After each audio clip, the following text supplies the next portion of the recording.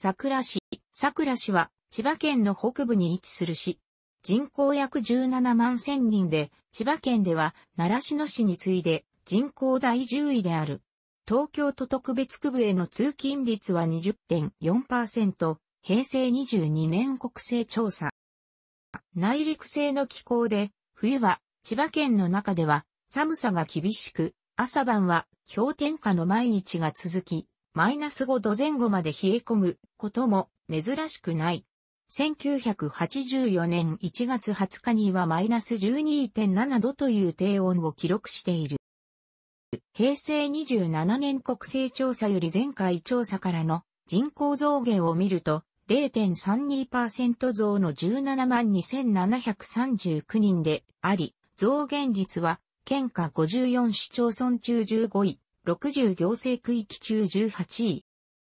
印旛沼を中心に多くの原始古代遺跡がある。市内中央部の高原台には日本考古学創創期に注目を集めた遺跡があり、東端には白鳳期の長熊配置跡が残る。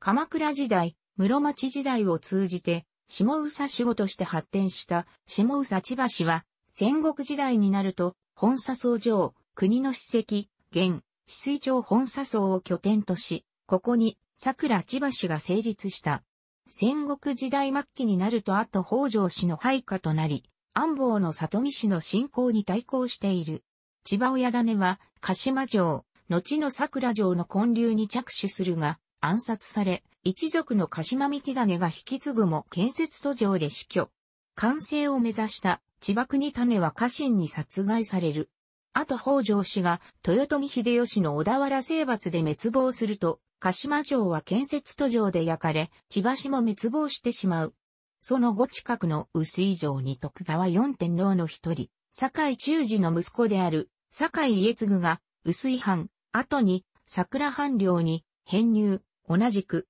八富城には北条氏一族の北条氏勝が岩富藩、後に天保により修行入城している。江戸時代初期には土井利勝が鹿島城を改造して桜城を築き、その後、堀田市の居城となり、老中主座となった堀田正助が11万国都市、桜は城下町として繁栄した。桜藩は武田、徳川地、松平野党、老中や大老となる幕閣の中心人物が入法する重要な藩であった。幕末の老中、堀田正俊は蘭学を奨励し、佐藤大前に桜順天堂、現、千葉県指定史跡桜順堂を開かせた。また、西の長崎、東の桜として、西洋医学の町としても栄えた。現在では、国道296号、新町周辺のみを通称蘭学通りとして、その名を残している。1871年、明治4年7月15日に、廃藩置県により、桜県が置かれ、同年11月13日に、桜県は、印馬県と改められた。また1873年、明治6年に上席に、軍隊、桜連隊が置かれた。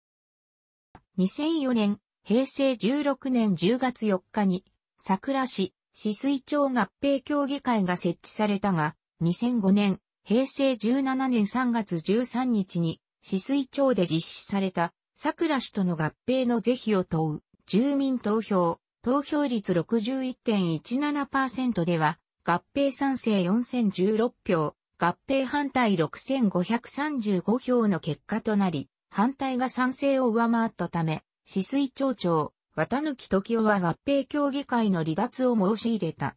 3月19日に開催された第9回。合併協議会ではこの案件が協議され、その結果廃止することが決定し、3月29日に市水町を議会、翌3月30日には桜市議会で合併協議会廃止議案が可決されたため4月例をもって合併協議会は解散した。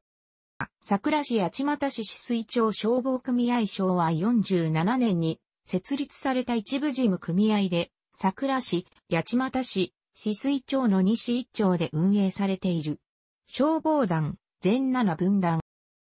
桜市の行政の中心で、京成桜駅周辺には、市役所、裁判所、検察庁などの観光庁ほか、桜郵便局、私立美術館、オフィスビル、マンションなどが立地する。また、JR 桜駅周辺には、桜警察署、千葉県印馬合同庁舎、桜商工会議所などの観光庁が位置する。この地区の台地には、旧桜藩の桜城があったことから、寺院の集中地や、変則交差点、クランク状の道など、城下町の面影が、今も色濃く残る。昭和57年当時には、調査により24棟の武家屋敷が現存していることが確認され、その時点では日本で最多の残存数であった平成22年2月現在は復元公開している3棟の武家屋敷を合わせて10棟現存。現在、桜城の跡地は桜城市として整備され、隣接する地には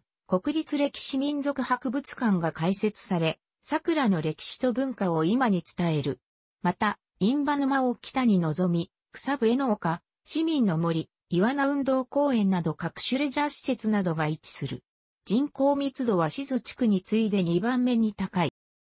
桜市西部に位置し、最も東京寄りの地区。桜市の人口の約4割が住み、人口密度は市内で最も高い。京成線沿線のユーカリが丘駅、静駅を中心として都市化が急速に進んだ。ユーカリが丘駅前からは、新交通システムが走り、ショッピングモール、シネマコンプレックスなどの商業施設のほか、120メートル級の超高層マンションが数棟ある。その一方で駅から離れた新化は、インバ放水路沿いの地域などでは、田園風景や山林も残る。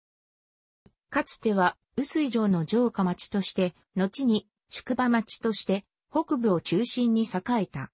1970年代後半に大規模な区画整理事業が行われ、国道296号沿いに位置し、利用者の増大により、共愛著しい京成雨水駅が区画整理事業と同時に、現在の位置に移転が行われ、北部から南部に市街地が移った。現在、駅前にはショッピングセンターが位置し、閑静な住宅街が広がっている。また、現在でも北部には宿場町の頃の名残が見られ、自然資産などにも恵まれ、隣接するインバ沼と相まって自然豊かな住宅地が形成されている。千代田地区との関わりが深く、薄い千代田地区と合わせて呼ばれる場合もある。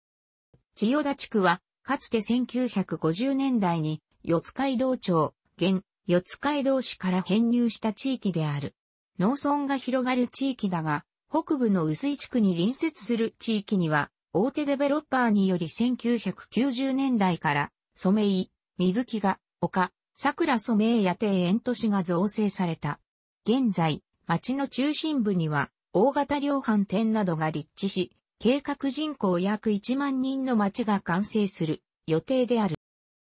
JR 桜駅より南側の地域が主に寝郷地区である。かつては農村地域だった地区であるが、地区の南側を通る国道51号により、高度経済成長期より都市化が進み、昭和47年の東関東自動車道、桜 IC の開通に伴い、大規模な工業団地が多く造成された。また、交通の便の良さから、住宅団地の造成が行われ、千葉県立桜南高等学校や、千葉県愛短期大学などの学校も開設され、人口の増加も著しい地区となっている。また、近年、寺崎地区で区画整理事業が始まっており、今後発展が期待される地区である。人口も若年層を中心に増加傾向にある。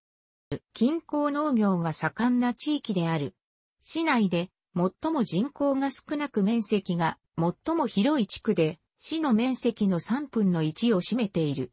八富地区には河村記念美術館が立地し、17世紀から現代絵画までの多くの作品が展示されている。また、千葉市とまたがる地域に開発研究施設が集まる千葉、リサーチパークが造成されており、ハイレベルな開発研究拠点の集積などが図られている。和田地区は、地区全体が市街化調整区域であり、養豚と大和芋の生産が主な産業となっている。近年、人口は減少傾向にある。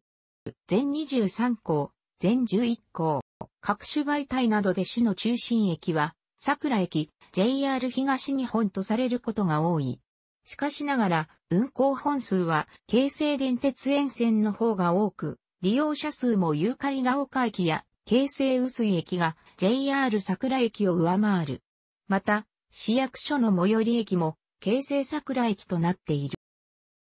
ユーカリが丘ユーカリが丘駅、京成薄井駅東京駅、京成バス、千葉グリーンバス、千葉内陸バスが、運行国立歴史民族博物館、宮古寺町、ビッグ河村記念美術館東京駅、千葉グリーンバスの運行。